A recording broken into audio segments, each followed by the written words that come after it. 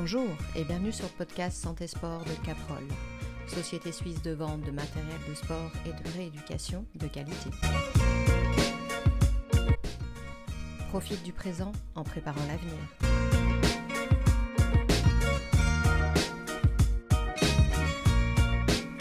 Bonjour et bienvenue sur le podcast Santé Sport de Caprol.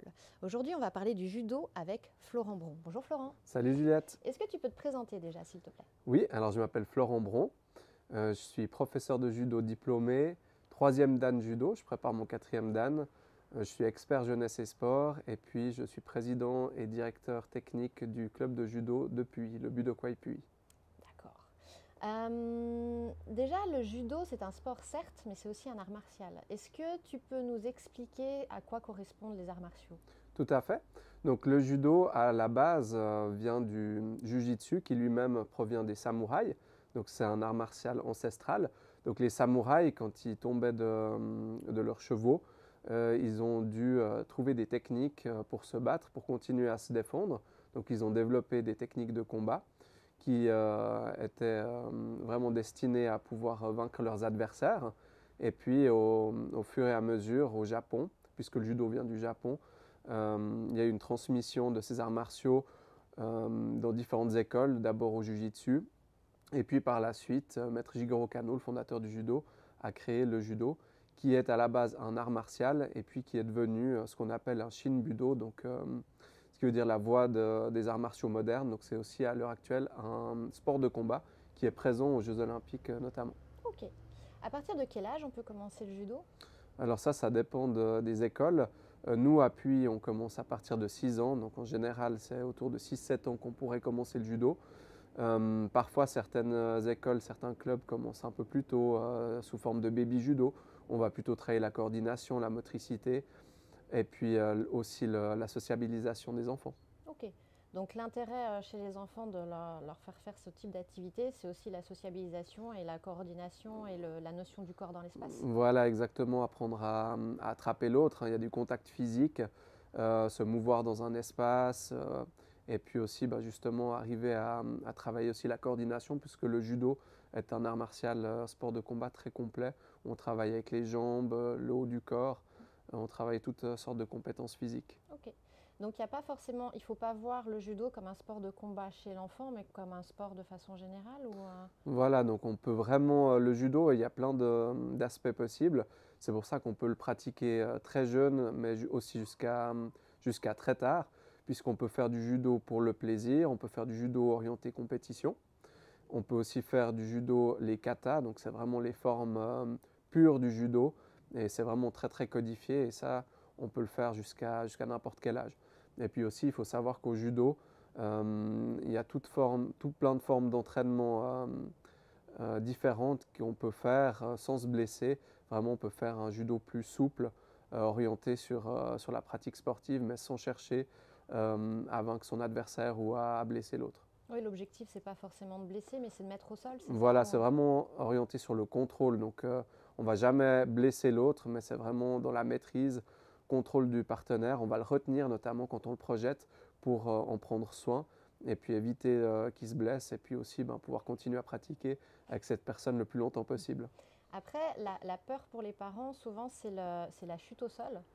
Est-ce qu'il y a des accidents chez les enfants? Comment, comment vous pratiquez? Au rugby, par exemple, ils font pas de, il y a une notion, ils font pas de Mhm. mêlée ou ce genre de choses. Au judo, quand ils sont enfants, est-ce qu'il y a des choses que vous faites pas? Alors la première chose, euh, une des premières choses qu'on leur apprend, c'est à, à tomber, donc faire la chute, euh, pour justement éviter les accidents. Donc toujours bien rentrer la tête, hein, c'est ce qu'on, c'est là qu'on met vraiment la priorité pour éviter que la tête euh, reçoive le choc.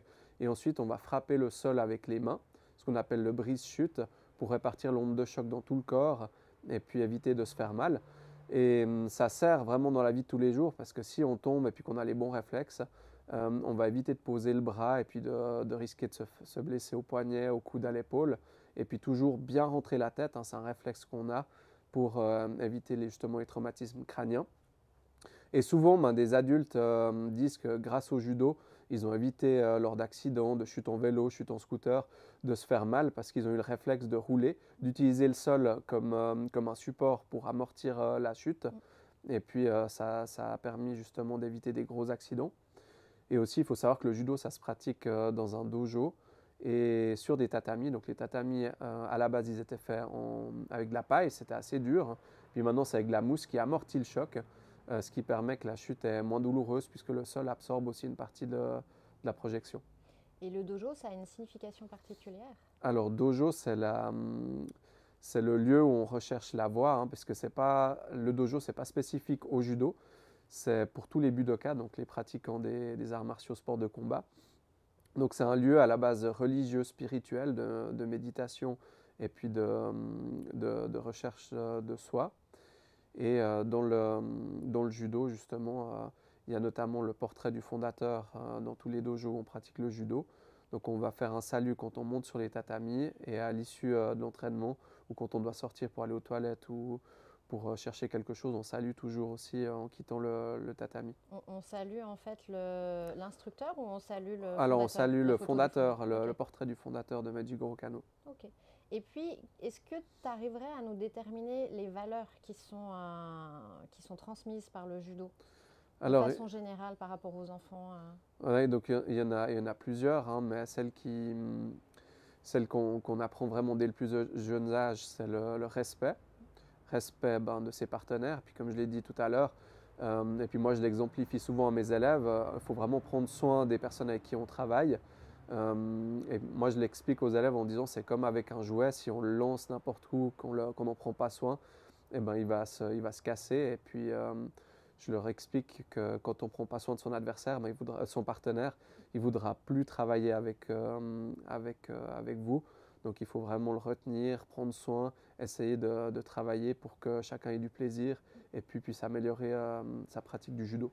Est-ce que tu as des, des, retours des enfants ou des parents sur, sur les bienfaits, on va dire, comportementaux du judo sur les enfants? Oui, alors... la, euh, gestion des crises ou euh, de l'énergie des enfants Oui, alors c'est vrai que euh, le judo, bah, c'est aussi un, moyen cathartique de pouvoir se défouler. Donc dans le judo, il y a toute la partie où on doit se concentrer pour apprendre les techniques, pour essayer de maîtriser tout ce que le, judo peut apporter. Mais il y a aussi les, ce qu'on appelle les randori, donc c'est une forme d'entraînement où on va travailler le, combat. Mhm. Et puis, ben, ça permet vraiment de se dépenser, mais dans un, dans un cadre qui est vraiment formel, sous la surveillance d'un moniteur. Et puis, ça permet qu'on évite les accidents, mais qu'en même temps, on puisse vraiment euh, se défouler, se dépenser, et puis euh, bah, évacuer un peu toutes les tensions du quotidien.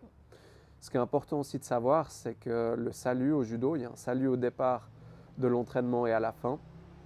Le salut, c'est une forme de méditation où on va justement euh, laisser tous les problèmes euh, de la vie courante, on les laisse en dehors. Donc c'est vraiment une phase de préparation mentale où on va se concentrer sur le judo, sur ce qu'on pratique. Et puis une fois qu'on a terminé l'entraînement, on fait un retour au calme. Et une fois qu'on a fini le salut de fin et qu'on a salué en quittant le tatami, bah, on reprend euh, sa routine quotidienne. Ça, c'est des choses quelque part qu'on inclut dès qu'ils sont petits. Et c'est beaucoup plus simple de commencer petit en fait on, peut commencer à, on peut commencer à n'importe quel âge, mais c'est vrai que c'est des règles sur lesquelles on insiste. Et hum, le judo, euh, contrairement à d'autres d'autres arts martiaux, euh, on a un code qui est vraiment universel, notamment bah, les saluts, hum, les valeurs du judo, les principes euh, du judo.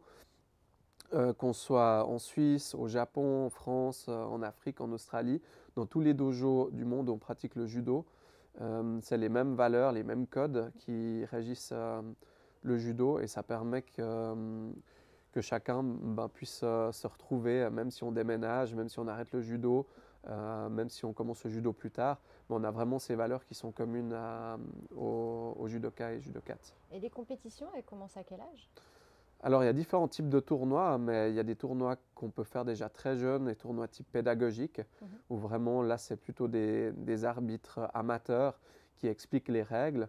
Et puis après, euh, il y a d'autres tournois un peu plus euh, euh, formels avec des arbitres officiels. Et puis là, on rentre vraiment dans le vif de la compétition. Ça, ça dépend de, l'âge et puis de, ce qu'on recherche.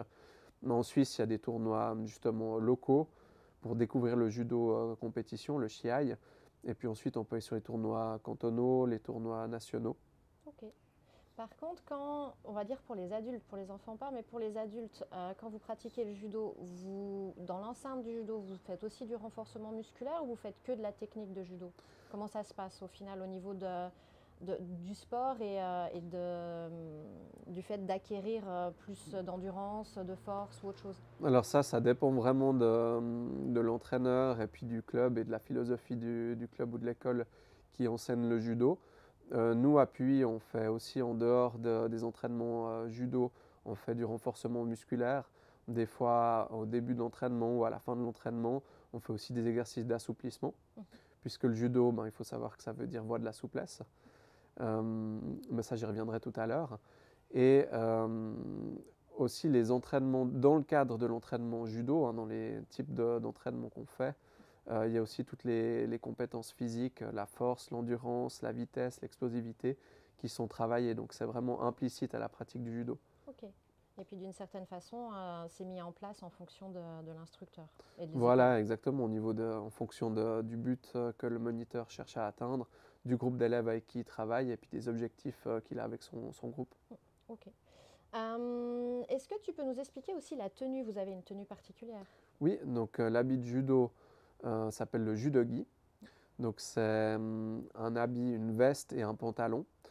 Euh, traditionnellement, c'est blanc. Euh, maintenant, en compétition, pour distinguer les deux, les deux judokas, il y en a un qui porte le judogi blanc et l'autre le judogi bleu à un certain niveau. Et puis, dans certains pays, à l'heure actuelle, il y a même encore d'autres couleurs qui sont acceptées. Que, donc, pour, que pour la compétition pour la compétition, certains, certains l'utilisent aussi à l'entraînement, mais euh, vraiment l'habit traditionnel, il est blanc. Et puis, euh, donc la veste de judo, elle se ferme toujours avec le côté gauche qui vient sur le côté droit. Et ça, ça provient aussi de la tradition des samouraïs, puisque euh, l'arme, le, le couteau, ben, était mis euh, du côté justement du côté gauche. Mhm. Et puis, si on voulait le sortir pour, pour dégainer, eh ben, il fallait qu'on puisse le, le prendre facilement. Maintenant, dans le judo, il n'y a plus du tout d'armes. C'est que du main à main. Alors, dans les katas, justement, qu'on travaille toujours, on perpétue justement la tradition du, du judo Est-ce que, ancestral. est-ce que tu peux définir ce que c'est qu'un kata par rapport au judo? Les gens ont un peu une idée de, de à quoi correspond le judo, mais le, le Oui. kata, je pense qu'ils Alors, kata, pas. ça veut dire forme, hein, si on traduit euh, littéralement. Donc, euh, il y a différents types de kata. Et c'est vraiment l'origine du, du judo et puis d'autres arts martiaux, notamment du jujitsu, aussi des formes, euh, des formes primitives de, de self-défense. Et puis, euh, bah, c'est vraiment la source euh, de, de ces pratiques. Et donc, c'est très codifié. Et quand on travaille le kata, ben, il y a vraiment un règlement, le nombre de pas, la, la vitesse. C'est un enchaînement de mouvements Voilà, exactement. C'est vraiment des, des- des techniques, notamment ben, au judo. euh, le premier kata qu'on apprend généralement, c'est le nage no kata, donc le- les formes de projection. Et puis, euh, il y a plusieurs séries. Chaque fois, ben, on doit se rhabiller à un moment précis, on doit faire un nombre de pas qui est, euh, qui est aussi défini, les attaques, euh, l'angle, le, le placement des mains, la projection, il y a vraiment tout, tout, tout qui est Mais c'est codifié. pratiqué tout seul ou c'est, ou c'est pratiqué à plusieurs? Alors, le T'es fa- t'es kata. face à un, at- à un adversaire ou c'est juste un, un enchaînement de mouvements que tu fais tout seul? Alors, c'est c'est un partenaire, c'est pas un adversaire, parce que vraiment, le Pardon. kata se travaille à deux. Et hum, donc, il y en a un qu'on appelle Tori, c'est celui qui va, hum, qui va exécuter les techniques. Uke, c'est celui qui va subir les techniques. Et hum, généralement, euh, Uke, c'est celui qui va venir agresser, qui va venir attaquer l'autre. Et Tori, bah, lui, il répond en se défendant, puis en utilisant les arts martiaux. Donc ça, c'est c'est pratiqué. euh, donc ça peut se pratiquer à l'entraînement, ça se pratique aussi pour les passages de ceinture, notamment au judo pour euh, la ceinture noire et quand on veut grader aussi aller plus loin dans les dans les dan, hein, dans les dans les niveaux d'expertise. Et puis euh, tous ces katas, bah, ils permettent justement que dans le monde entier, on a tous une forme de référence en fait. Et hum, quand on a des questions, on se pose des questions, souvent on va chercher dans le kata, dans les mouvements, les détails, puisque c'est là-bas qu'on trouvera vraiment les réponses. C'est les mêmes, c'est les mêmes mouvements dans, dans le monde entier. Voilà, exactement. Il y a même des championnats de, bah, il y a des championnats de kata. Donc euh, il y a des, des judokas et des judokas qui s'entraînent pour vraiment essayer d'atteindre euh, la perfection la justesse dans toutes ces techniques. Il y a eu une évolution dans ces mouvements? Il y a eu une modernisation dans ces mouvements ou pas du tout? Alors le, le, judo, comme l'a inventé Maître Jigoro Kano, a évolué. Mais il y a son école qui existe toujours, le Kodokan à Tokyo, qui est la, première école qu'il a fondée, donc qui a vraiment évolué. Maintenant, c'est une école qui est vraiment qui est, très très grande et c'est vraiment le lieu euh, de pèlerinage pour euh, les judokas et judokas. Euh, là-bas, il y, a un comité, il y a des gens qui continuent à rechercher, à travailler le judo, et eux, des fois, décident de, de changer des détails ou d'adapter. Mais c'est vraiment eux qui, c'est le Kodokan qui a le, dernier mot et puis qui est vraiment l'organe. il n'y a que eux qui ont le voilà, droit d'amener une modification. Tout à fait. Euh, comme tu as dit, ça peut se pratiquer à n'importe quel âge, mais est-ce que vous avez des personnes euh, d'un certain âge qui, enfin, qui, commencent très tard? Alors le judo, ça arrive ou pas? Alors le judo, il, évolue vraiment. Hein. On peut commencer le judo pour le plaisir, pour être avec les copains. Il y a vraiment toutes sortes de raisons pour lesquelles on peut commencer le judo. Ensuite, il y en a certains qui s'intéressent à la compétition. Une fois qu'on n'a plus envie de faire de la compétition ou qu'on se sent plus euh, à l'aise avec euh, la compétition, on peut continuer le judo, on peut chercher vraiment à atteindre des objectifs dans d'autres domaines, que ce soit ben, évoluer aussi au niveau de sa technique, euh, partir sur le kata. Il y a vraiment plein de, possibilités pour continuer à se nourrir du judo. Et puis ça entretient de toute façon. Voilà, exactement. Donc ça permet aussi, euh, on peut aussi faire du judo ben, parce que c'est un art martial, un sport de combat qui permet de, rester en forme et puis de développer des aptitudes physiques.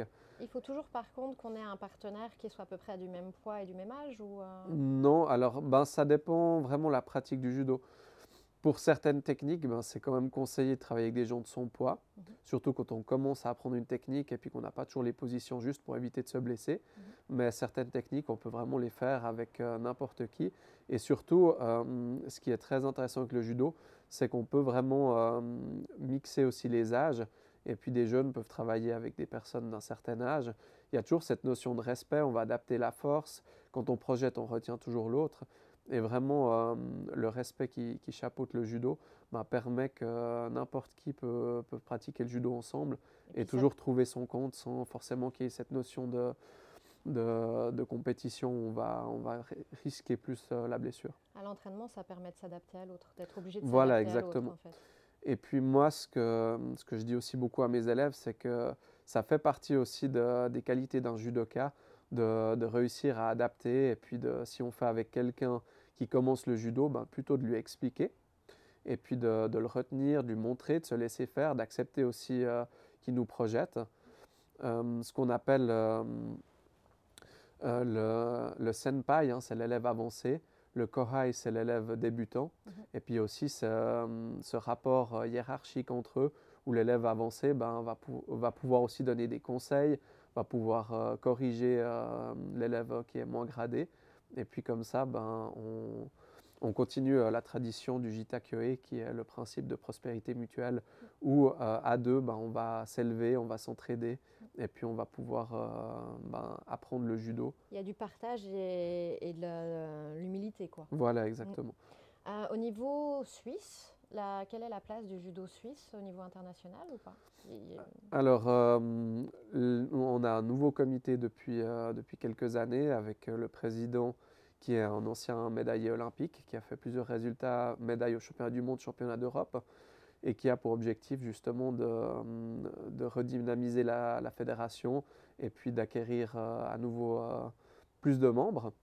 Donc euh, tout le travail fait en amont était déjà un travail de renforcement de la fédération, et puis avec ce nouveau comité, il y a vraiment l'envie de, de, dynamiser, de, de, donner une visibilité encore plus accrue à, à la Fédération suisse de judo et jiu-jitsu. On va peut-être voir une, euh, une ouverture euh, de nouveaux dojos dans l'avenir. Oui, alors euh, il y a toujours des, des nouvelles écoles qui ouvrent.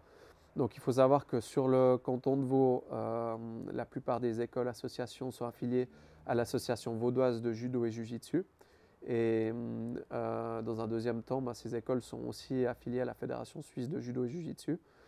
Et effectivement, ben, actuellement, il y a pas mal de promotions euh, pour justement attirer plus de monde dans ces écoles, dans ces dojos. Et on voit, moi je le vois appuyé, euh, qu'il y a vraiment une tendance à ce qu'il y ait de plus en plus de, de demandes en fait. Et euh, il y a des échanges entre la, Suisse allemande, le Tessin et, euh, et la Romandie? Alors, euh, Au niveau des stages, par exemple, vous faites des, euh, Oui, des alors- camps d'été ou des choses comme oui, ça? alors il y a des centres de performance, il y a le, le Centre national d'entraînement qui, qui permet justement le regroupement de tous les meilleurs judokas de Suisse qui s'entraînent, qui se préparent à des compétitions. Mais il y a aussi pas mal d'échanges entre les différents clubs.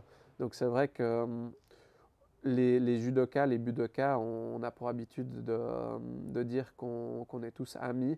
Et puis du coup, hein, ça fait partie hein, des valeurs. L'amitié, c'est une des valeurs euh, dont on parlait tout à l'heure, une des valeurs vraiment importantes. Et euh, généralement, la porte d'un dojo, elle sera toujours ouverte à un judoka. Et dans cette philosophie-là, on voit des fois des, des gens qui partent euh, pour faire des stages en Suisse allemande, qui prennent leur judogi avec et puis qui vont euh, frapper à un dojo, puis qui vont s'entraîner. Donc ça, c'est toujours, Il y a euh, ça toujours fait cette partie. notion Voilà. de partage, même si on ne Exactement. fait pas partie du même dojo. Quoi. Voilà, il y a une certaine rivalité en compétition, mais en semaine, lors des entraînements, euh, il y a toujours euh, possibilité d'aller s'entraîner à droite et à gauche et puis de créer des liens d'amitié. Au niveau blessures, vous avez des blessures spécifiques? Alors, Est-ce que tu as rencontré des blessures spécifiques au, au judo? Alors, il y a pas mal de. bah, le judo, comme je l'ai expliqué, c'est vraiment un sport complet. Donc, il y a, il y a des blessures, comme dans tous les, tous les sports, surtout quand on fait du sport de performance, du sport à haut niveau. Ben, c'est vrai qu'on s'expose plus facilement à des blessures. Mais euh, comme on apprend à tomber, que généralement, ben, quand on fait du- de la compétition, on tombe sur des judokas qui, bah, qui ont pratiqué le judo, donc ils savent aussi comment faire tomber. Euh, il y a moins de blessures, je pense, que dans d'autres sports. Je pense notamment au football, où euh, il y a quand même beaucoup plus de blessures, euh, d'après ce que, ce que je sais. Mais, mais voilà, c'est vrai qu'on n'est pas à l'abri d'une euh, d'une blessure. Parce qu'après, le principe, c'est de mettre au sol et d'immobiliser, mais au final, il n'y a pas de notion de, comme tu dis, de blessure. On n'est pas là pour le faire tomber le plus fort possible, on n'est pas là pour le mettre KO, on est juste là pour le maîtriser. Exactement, donc c'est vrai qu'un mouvement parfait, c'est un mouvement contrôlé. Donc si au milieu d'une projection, on lâche son partenaire, on n'a plus de contrôle, il n'y a pas de point qui est donné parce qu'on doit, pour marquer le point, on doit montrer qu'on maîtrise ce qu'on fait et puis que le partenaire, ben, il est vraiment contrôlé sur le dos. Il y a deux parties au judo, la partie euh, debout, tachiwaza, on va justement euh, projeter l'autre, travailler sur le kumikata, donc on va prendre le judogi, c'est de bien poser ses mains, travailler pour euh, amener l'autre sur le dos ou l'amener au sol.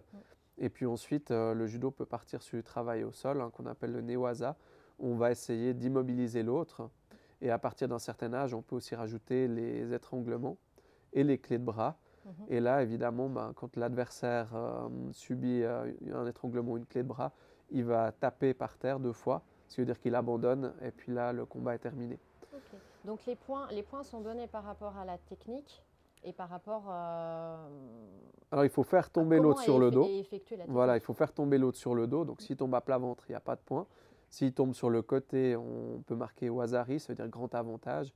Puis s'il tombe sur le dos et puis qu'il est bien contrôlé avec de la vitesse, euh, là on marque Ippon et puis on a gagné le combat. Donc ça peut aller très vite. hein. Des fois, on a souvenir, moi j'ai souvenir de m'être déplacé euh, très très tôt euh, au Tessin, puis d'avoir fait des heures de route. On fait le salut, puis le premier combat peut durer euh, trois secondes et puis on a fini notre journée. Donc c'est vrai que le judo, c'est un sport où on doit aussi mentalement être fort parce qu'on s'entraîne, on s'entraîne, on s'entraîne. Et puis euh, lorsqu'on fait de la compétition, on se retrouve face à quelqu'un qui s'est aussi beaucoup entraîné. Et ben, l'issue, c'est qu'il y en a un des deux qui, qui va gagner, l'autre qui va perdre. Donc il y a aussi vraiment un aspect de, de travail mental et puis aussi d'accepter la, la défaite et puis de, de repartir en se disant, euh, ça n'a pas été inutile, hein, je réfléchis pourquoi j'ai perdu. Et puis à l'entraînement, bah, j'essaie de travailler pour revenir plus fort. Après, c'est en, en un round, c'est en un tour. Il n'y a, pas, euh, a pas plusieurs tours qui se font pour gagner des points? Alors tout dépend du système de compétition. Euh, dans les tournois nationaux, généralement, il faut que celui qui nous a battus, si on peut au premier tour, euh, atteigne un certain niveau, par exemple les quarts ou les demi-finales, pour qu'on puisse être repêché et puis faire des combats pour espérer obtenir une médaille de bronze. Mais ça, ça dépend vraiment du système, du nombre de participants.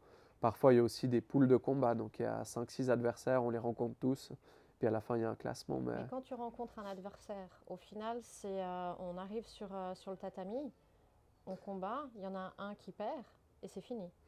Voilà, donc euh, soit on Soit perd et on puis gagne, soit on perd, mais- voilà et puis exactement. Ça dure 3 secondes, comme ça peut durer un certain temps. Voilà, alors des fois, sur les tournois plutôt amicaux, On accepte aussi ikiwake, donc c'est-à-dire match nul. Et puis du coup, les deux ramènent un point, soit pour, dans leur équipe si c'est un match par équipe, soit ben, ils repartent avec un match nul. Mais généralement, maintenant, s'il y a égalité, on continue, on fait ce qu'on appelle le golden score. C'est-à-dire, même si le temps est, passé, on rajoute du temps. Puis des fois, le, temps, il peut être infini. Donc le combat, il continue jusqu'à ce que un des deux euh, perdent. En, moyenne, le temps, ça, correspond à, combien? Alors, tout dépend de la classe d'âge, mais chez les jeunes, euh, c'est entre 2 et 3 minutes. Et puis, euh, chez les élites, c'est 4 minutes le, combat. Mais il faut savoir, 4 minutes, ça paraît court, hein, surtout quand... surtout pour les parents qui accompagnent. voilà, ça peut paraître court, mais en fait, c'est très, très intense. C'est l'intensité d'un sprint, en fait. Quand l'arbitre donne le départ, dit à Jimé, on va vraiment chercher à poser les mains, à se déplacer, puis l'intensité elle est très très élevée. Euh, quand l'arbitre dit mater, ben, on doit se relever, parfois on doit se rhabiller, puis c'est des temps de récupération très courts. Et hum, c'est vrai que 4 minutes, euh, souvent les judokas, on voit que quand ils sont au bout des 4 minutes, euh, ben maintenant, ouais, c'est vraiment le physique qui va, qui va être déterminant, surtout quand on part sur du golden score. Est-ce qu'il y a des contre-indications à la pratique du judo?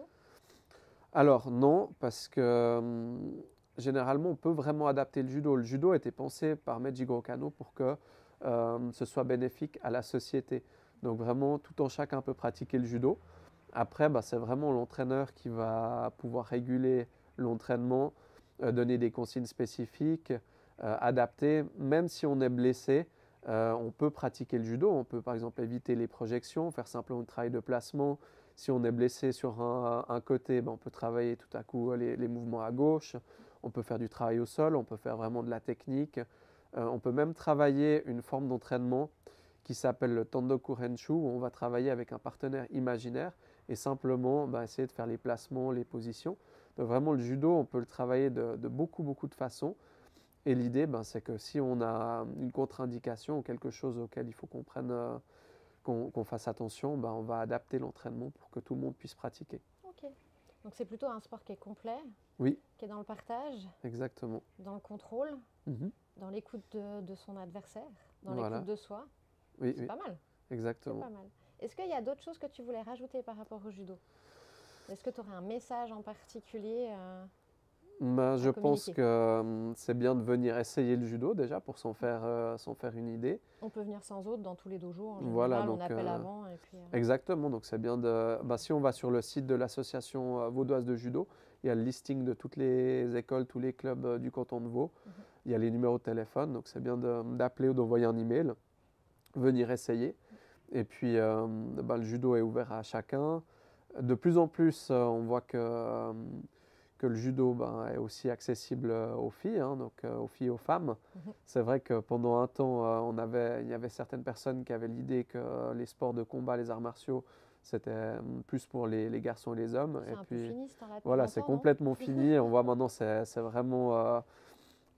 c'est vraiment révolu. Il y, y, a du judo chez les femmes depuis très longtemps, non? Depuis très longtemps, et puis on voit qu'elles sont vraiment euh, elles, elles, sont très très fortes aussi et puis euh, le, judo féminin est aussi très intéressant. Euh. Et à ce moment-là, dans les, dans, dans les dojos, il y a, y a une, on, mixte les partenaires? Alors à, l'entraînement, on mixe parce que bah, c'est vrai que certains clubs, on n'a pas encore assez de, filles et de femmes. Mhm. Donc c'est vrai que bah, nous, par exemple, à Puy, on, essaie vraiment de, de, trouver des moyens de les, les faire venir dans, sur le tatami. Et puis il y a certains clubs, euh, par exemple, il y a un club euh, à Yverdon qui a tellement de, femmes en fait qu'ils ont réussi à faire des cours oh. que pour les femmes. Mhm. Donc c'est vrai que c'est chouette aussi d'avoir la mixité, d'avoir euh, garçons et filles qui, qui s'entraînent ensemble. Ça, crée des, des jolis liens d'amitié aussi. Et puis devoir t'adapter. Exactement. Et, et, puis les compétitions, pour les tout petits, des fois c'est mixte. Et puis à partir d'un certain âge, bah, après c'est vrai que c'est séparé filles-garçons. Mais on voit vraiment que, que, le judo, ben, comme je l'ai expliqué, on peut le pratiquer, n'importe qui peut pratiquer le judo. Il y a même euh, les Special Olympics, donc euh, les, Jeux olympiques pour les personnes en situation de handicap, où euh, ben, les, les, personnes, même avec un handicap, peuvent pratiquer le judo. Et on voit qu'il y a de plus en plus d'écoles qui justement créent des cours avec des personnes qui ont un handicap ou qui les intègrent dans des cours. Et puis, euh, et, chacun vraiment euh, trouve de quoi, de quoi se satisfaire. Donc le- au final, le judo s'adapte à, à tout individu. Oui. Et est là pour faire grandir tout individu. Exactement. Donc, euh, Et la société par la. Voilà, parce que c'est vrai que Maître Jigoro Kano disait que un bon judoka, c'est un bon, c'est une bonne personne pour la société. Et puis il y a vraiment cette idée, hein, le judo, ça veut dire voie de la souplesse, mais c'est pas que la souplesse du corps, c'est aussi la souplesse d'esprit. Et puis euh, une ouverture sur les autres, sur l'entraide. Et euh, donc les deux, les deux principes fondateurs du judo, hein, c'est Jita Kyoe, euh, prospérité mutuelle, comme je l'ai défini euh, tout à l'heure, et puis aussi Zeirio Kuzenyo, qui est meilleure utilisation de l'énergie, où on va justement essayer de, de réfléchir pour éviter de, de se faire mal, éviter d'aller directement en confrontation directe avec quelqu'un, on va utiliser sa vitesse, sa force. Donc il y a vraiment tout, euh, tout un, état d'esprit philosophique aussi derrière euh, la recherche du judo. Que tu réutilises après dans ta vie courante. euh, Exactement. c'est intéressant. Autre chose? Non, je crois que... Je pense qu'on a bien assez fait parlé. le tour. Moi, je pense merci. que je vais, je vais m'amuser à traduire. merci beaucoup et merci à Florent. Avec plaisir, merci. Et à bientôt sur le podcast Santé Sport de Caprol. Ciao, ciao